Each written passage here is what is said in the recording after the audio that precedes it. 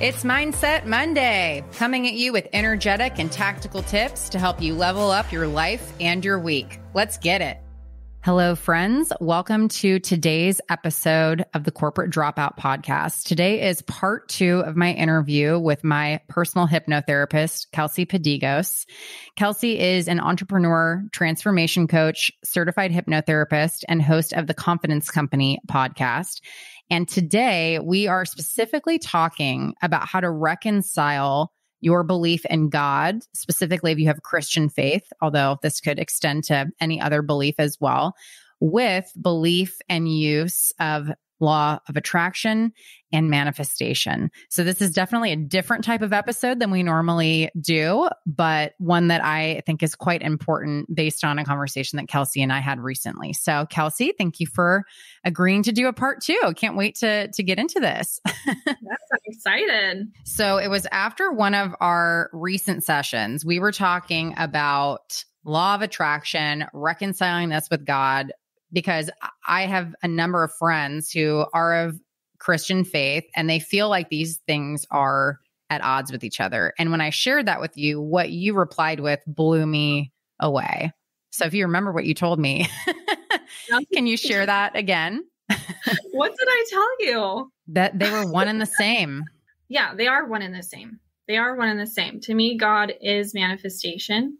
And, you know, I, it, there's a long story here as to how I came to this peaceful place um, and knowing inside of me. And I think it's something that all of us get to uniquely discover within ourselves because you have to know it for you, mm-hmm. you know? Mm-hmm. Yeah. Um, but there are a lot of tools that we have now, a lot of information and knowledge um, even on a scientific level, like through neuroscience and quantum physics. And when you put it all together, it just, it, it all fits together.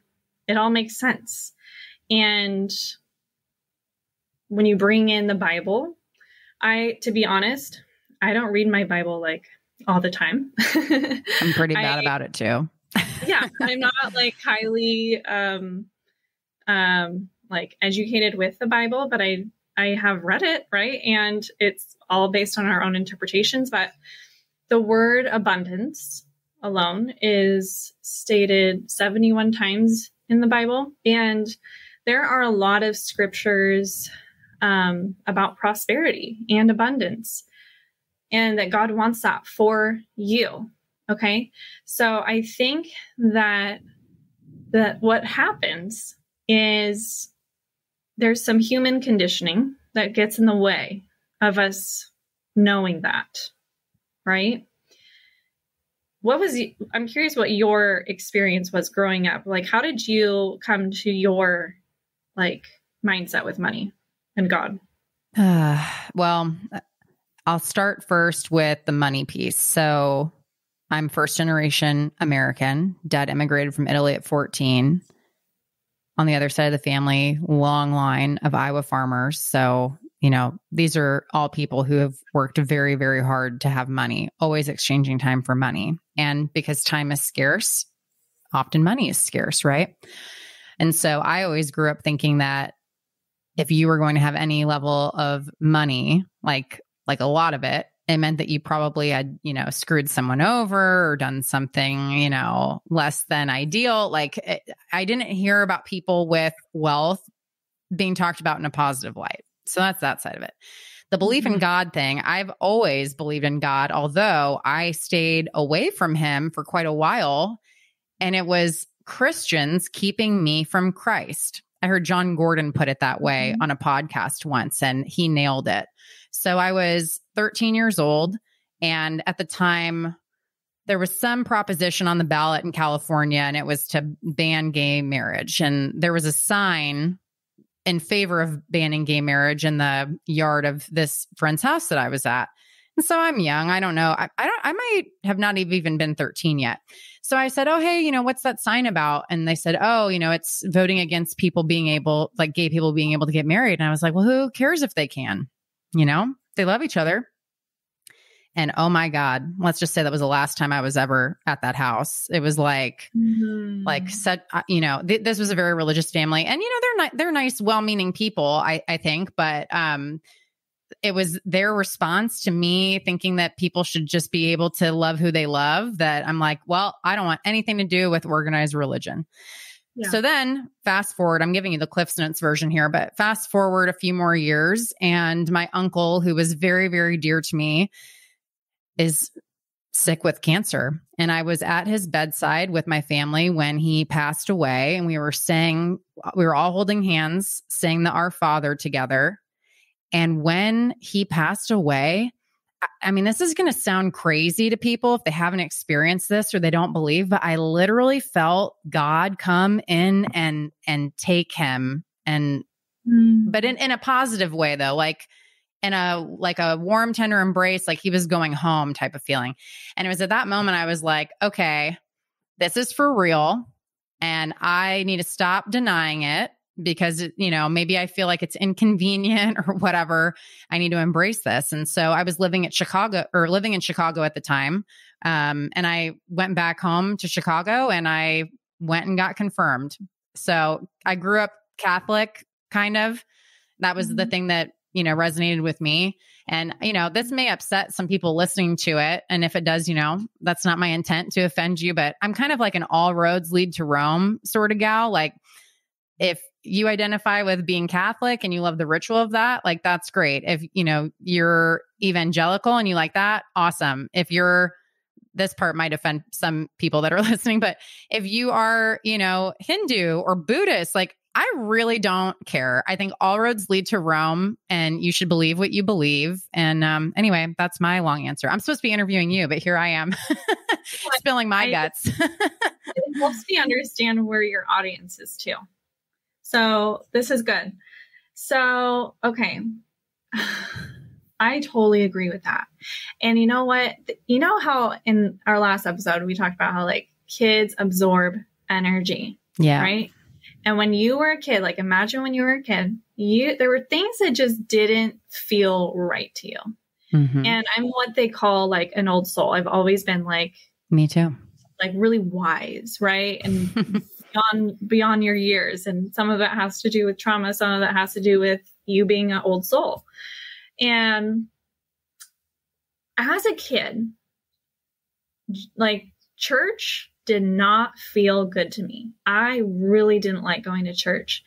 And a part of me really rejected Jesus as a child because there were things that I experienced that allowed me to get go to that conclusion. I was like, how could God allow that? Why are these Christians, so-called Christians, judging people Mhm. and shaming people?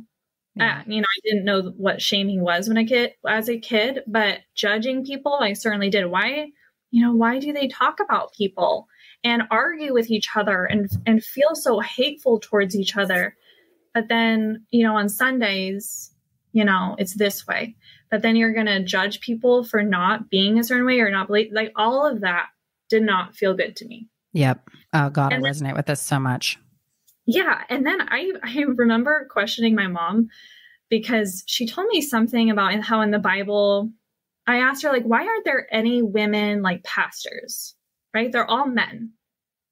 And she was like, "Well, in the Bible it says this this and this." And I was like, "What?"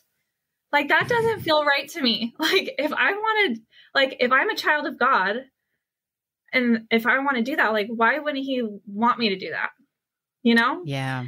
Right. And so, yeah, there were just all these things. And um, the last thing that didn't sit right with me that's coming to my mind is all the different religions of the world.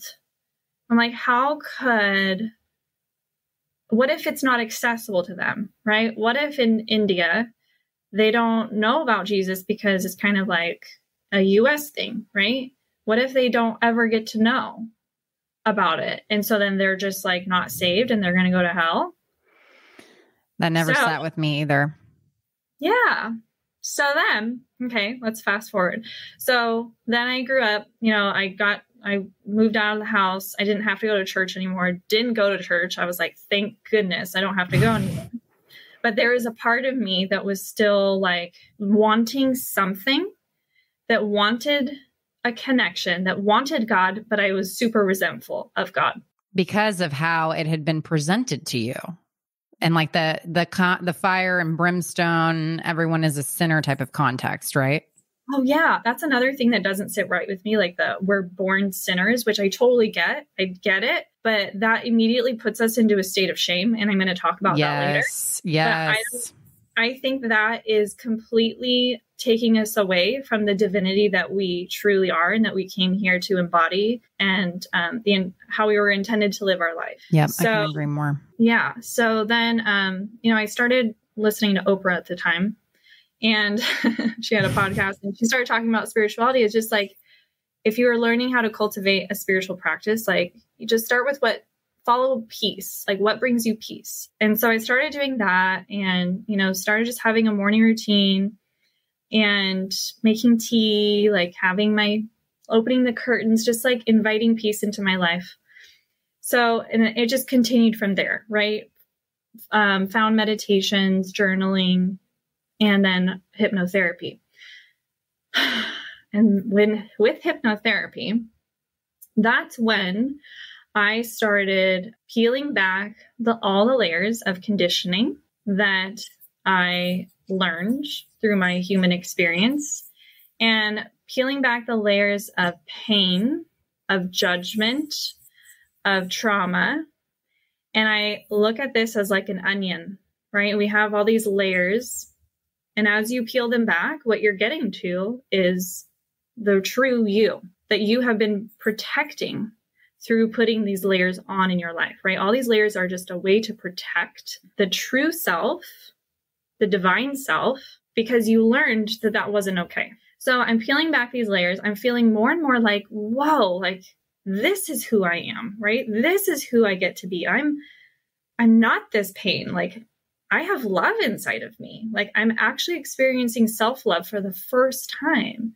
And, you know, we talked last time about going through one of the hardest times, um, going through depression, like not knowing who I am and why I'm here. And I, you know, I had all the things, right? I got married. I had kids. I had a business. I had a master's degree. I bought a house. Like I did all the things I set out to do and I was still unhappy and I was still, yeah. I felt lonely still.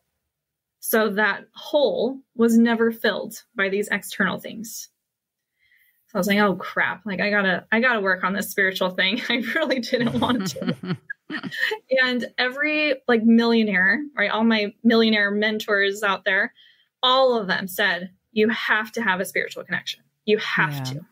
It's yeah. imperative. And that was the one piece where I was like, I really don't want to do it. like there's just so much pain there.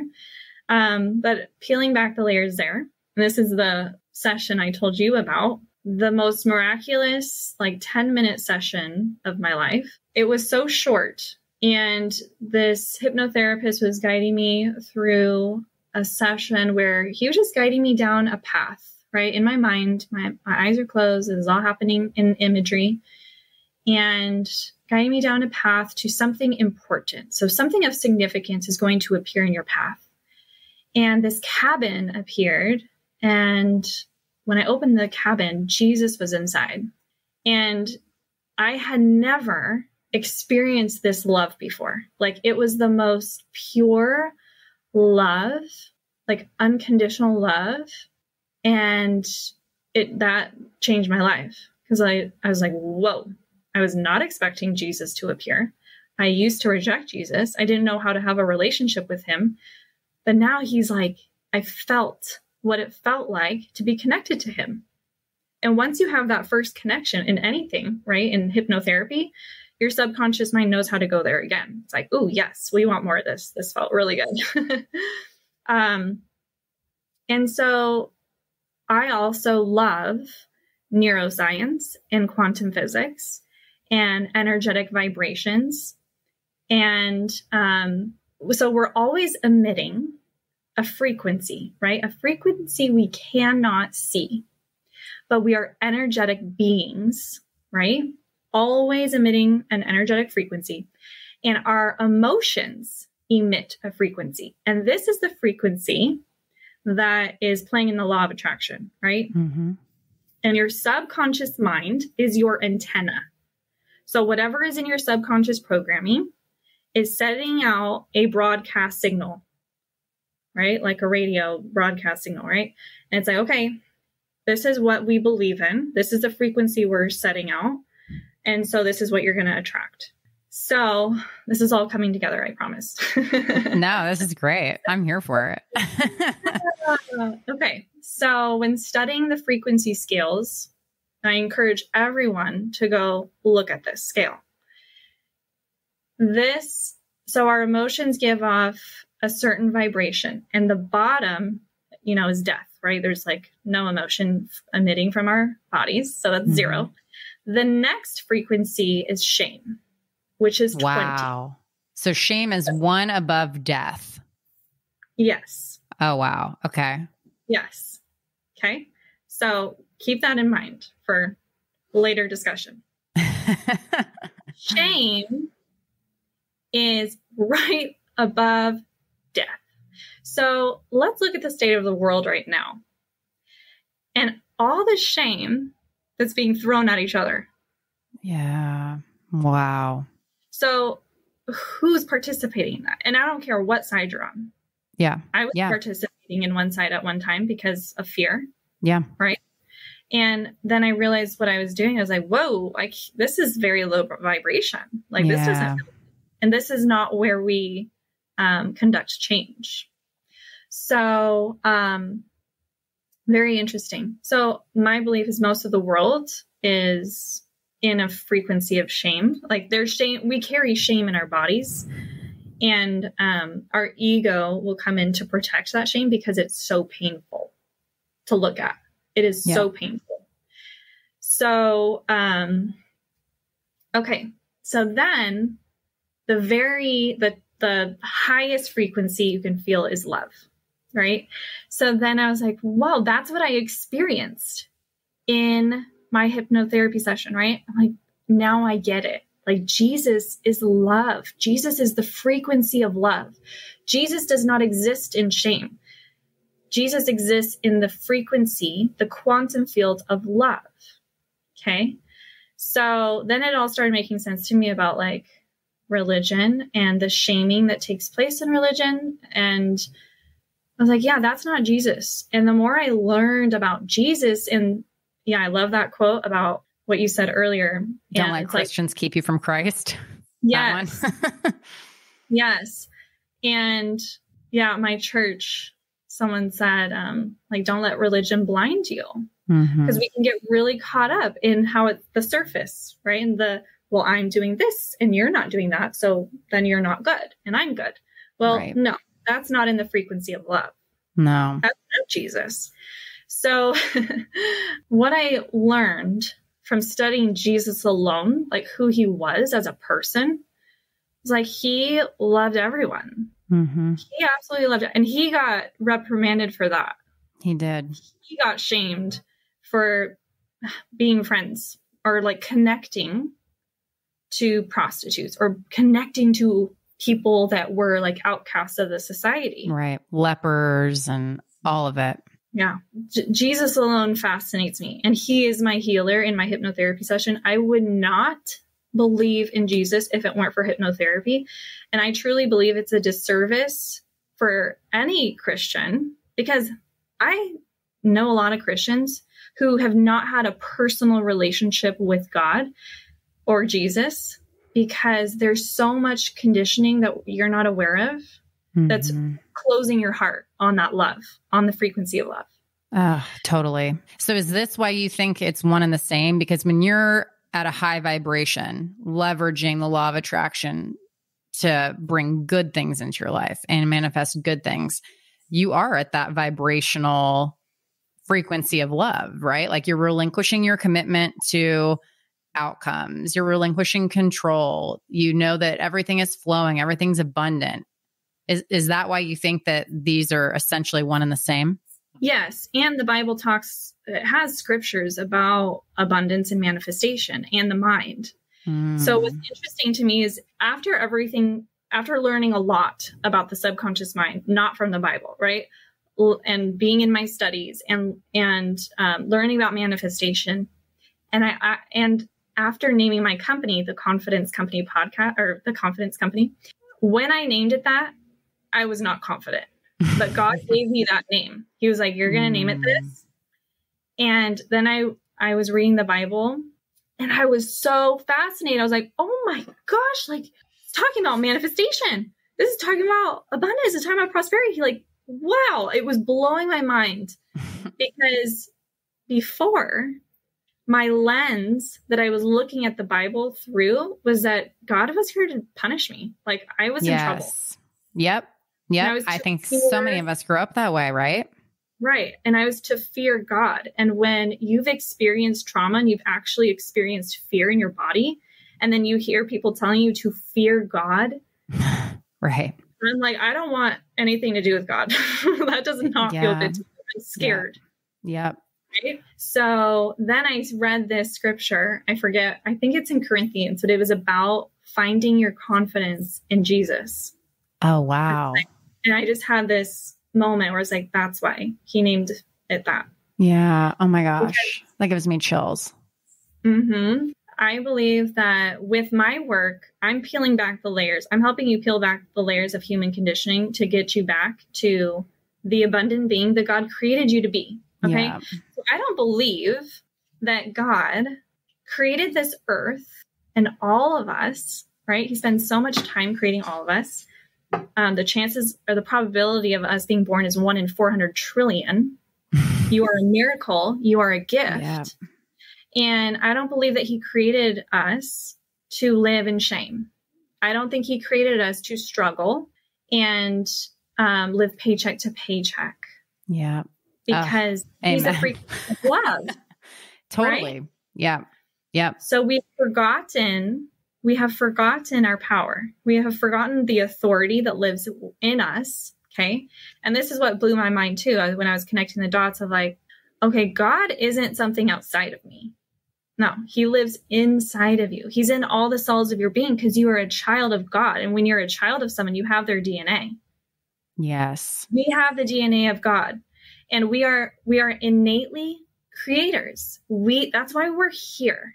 Okay? Mm-hmm. Entrepreneurs, we we're here to create. We want to create in our business and we want to create transformation. We, we're here to create because that's what we're born to do. And with manifestation, that's where you get to partner with God and learn how to believe and trust in this higher being who is infinite intelligence. I love that phrase infinite intelligence. Like, really let that sink in.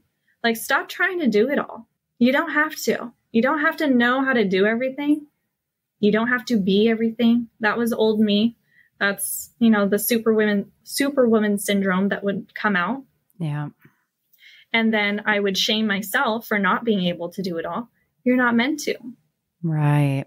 And God is here to co create with you. Ah, oh, I love that.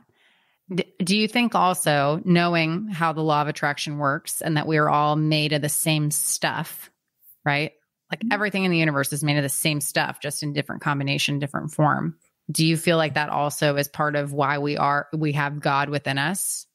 Yeah, we um, all have the same. We're all we're, we all have the same type of minds, right? We don't have the same mind, but the way we're designed is the same.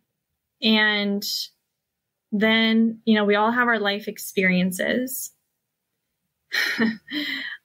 but the thing is, like, what we forget is that we have a choice. Yes. And because we have free and, will. Right. And so one of the things that I had to heal with um, and learn how to have authority in, and I have this amazing church where they teach you how to have the authority of God in you and how to use it. Oh. Yeah, it's amazing. I'm like, where have they been all my life? It's like I just I can feel the Holy Spirit when I walk in. Like I just want to oh, go wow. into soak in the Holy Spirit. Like it just feels so good. But um what people don't realize is that they have authority.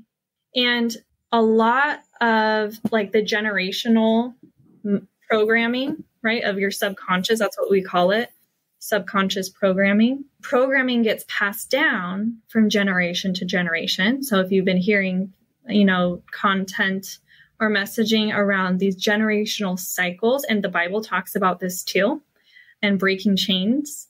So, one of the, the ones that's hardest to break is victim mentality.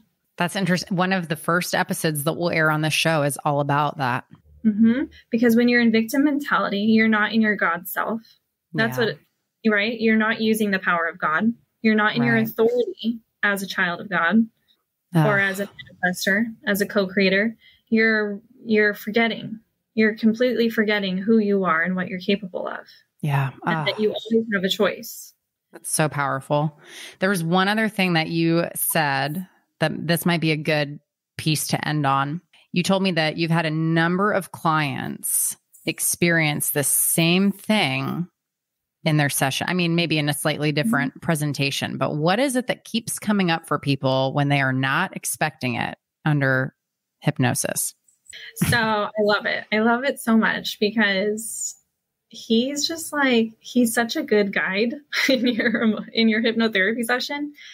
And um yeah, I've been hearing this in this um hypnotherapy world and spiritual community that Jesus will just come out of nowhere in people. And these sessions. are people who may not even believe, correct? Correct.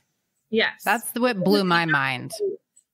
Right. And it's just like me, like I wasn't in the place to expect him or believe in him, but he came through and and that's what other people are experiencing too.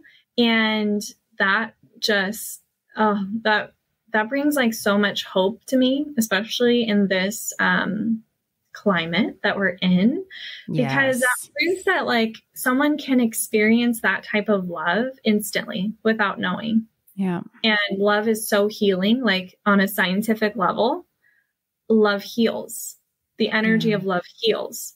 So um yeah, I love it. People like Jesus, I've heard him coming up in people's Reiki sessions too. Oh, okay. Wait, you were just reminding me of something. I feel like this could be controversial to someone hearing it that's not ready to hear it. But what did you say that Jesus was the ultimate of? Yeah, I said he's the ultimate Reiki master. And because my so session, wild. Yeah, in my sessions, that's what he does on me. He does Reiki, he like puts his hand over my forehead, or like if I do inner child work, he'll put his hand over my inner child and mm. like heal her. But when you read the Bible, that's what he's doing. He's touching people and healing them with the power of God. Yeah. But he is a Reiki, like if you want to call it Reiki, whatever, love, God, that whatever. He's healing people with his hands. So to me, he's my Reiki master. Like I love the, that. It's so healing and it's it's so magical. So So for the person that's listening to this that's maybe they know that there's like this spiritual connection, they're having a hard time accessing it but they know that there's more there. You said starting with what brings you peace. What other advice would you give to someone who's looking to deepen that spiritual practice and, and really tap into that vein of energy? Mm-hmm. So, this is great because this is one of the ways that I believe we've been hypnotized as a mass is we've been hypnotized to hate ourselves. Yeah. Okay. Women, all the women listening in and men too. But with women, we've been conditioned to not be in love with our bodies. Yeah. To not and just completely doubt ourselves, right? And and forget our divinity within. Yeah. The divine feminine and all of that. So as we reject ourselves, we're rejecting God because God created you. You are a miracle. So when you're rejecting yourself, you're not seeing the miracle that you are. And like I said, God is within you. He's nothing outside of you and he wants to have a connection with you, right? He want the frequency of love wants to be in you. So um I would start with self-love. I would start with peeling back the layers of um any type of self negative talk, self criticism, start rewiring that process. So everything that you say out loud you're confirming, right? And that's also in the Bible, the power of your word. That's why affirmations are so important, right? Positive affirmations. Right. And everything you're saying after I am is creating your reality. And it, you're either creating life or you're creating death with your words. So your words also carry frequency and are also playing a role in the law of manifestation. So um, I would begin with self talk. So my favorite book that I always refer people to is Mirror Work by Louise Hay. Mm. And for anyone who doesn't know her work, she cured herself from cancer through positive affirmations and through oh speaking life into her body. Wow. She has a couple of great books, um, but the one that I would suggest to begin with is Mirror Work because this is you st- um, speaking to yourself in the mirror and start cultivating a relationship with yourself. And the first time I read this book, I could not look in look at myself in the mirror straight in the eyes without crying. Hmm. And right, and she has you say like, "I love you," like I, I'm learning to love you or something on the first day. I was hysterical. I couldn't do it. There was just so much pain there in loving me. And now I can look at myself in the mirror and be like, you're doing great. I love you. You are a gift. You are a miracle. So work on that. and thank you for providing a tactical piece of information rather than just like the practice self love. Because if people aren't there, like, where do you start? But that's a great starting point. And I had not heard of that book. So now I'm very oh. intrigued oh. to read it. So, Mirror Work by Louise Hay. Yes. Okay. I'll include that in the show notes too. Mm-hmm. 21 days to heal your life. So it's a 21 day process. And it just takes like 10 minutes each morning. And she gives you journal prompts. She has you carry a mirror. She wants you to say, I love you in the mirror like 100 times a day. This is how you rewire your mind, wow. is through repetition. You know, you just reminded me of something too. I heard Mel Robbins speak in June, and she shared with us. In, in fact, I think she's writing a book on this very topic and the science behind it, but high fiving yourself in the mirror because high fiving it's always a positive connotation. No one's ever high fiving you because you did something bad, right? So if you high five yourself in the mirror, it like creates that that rewiring that mm-hmm. you're worthy of a high five. So very that's that's a interesting parallel, I think. Mm-hmm. I love that. Well, this was so great. I could talk to you about this for hours. So, Depending if people want more, maybe we can like do a, a subsection of this around cultivating the self love, like all of that, because, you know, primarily this is going to be women listening to the show. Yeah. And like you said, we've all been conditioned by society to be very critical, to not like ourselves, to have the superwoman yeah. syndrome, live in this this shame-based frequency which like I'm going to ruminate on that for a while that that's one level above the frequency of death for a while. I mean, that's just like I can't even believe that. So this is so so needed. So needed. Yeah, that was awesome. Thank you. Well, thank you so much for coming on. So, if people did not catch part one, which go back and listen to that, Kelsey's got an amazing story of entrepreneurship. Um, where can people connect with you if they did not catch part one just yet? Yeah, you can connect with me on Instagram at Kelsey Padigos. And then my website is www.confidencecompany.org. And you can also find my podcast, the Confidence Company Podcast. And then also for all the listeners, I have a free gift for you when you text the, um, the word money to 619-304-5889. You get a free hypnosis recording to help rewire your mind to heal your relationship with money so you can start filling up your bank account in your life. I love it. And if anyone listening to this is curious about hypnotherapy too, would highly suggest reaching out to Kelsey uh, and getting that ball rolling. It has helped me immensely in getting past some of these these blocks. So thank you so much for coming on, Kelsey, and doing a part two super appreciate it. This was such a great conversation. And for all of you listening, thank you for listening to today's episode. If this added value to your life in some way or was thought provoking or helped you, I would love if you would leave a five star review and share it with someone else who would benefit from hearing it. And you can help me get the word out about this show by taking a screenshot of the episode sharing it to social media and tagging Kelsey and I. And I would love to connect with you on Instagram too. I want to hear how this show is helping you, what you'd like to hear more of, all of it. So don't hesitate to slide into the DMs anytime. You can find me at Corporate Dropout Official or Alessia Citro. That's A L E S S I A C I T R O and two underscores.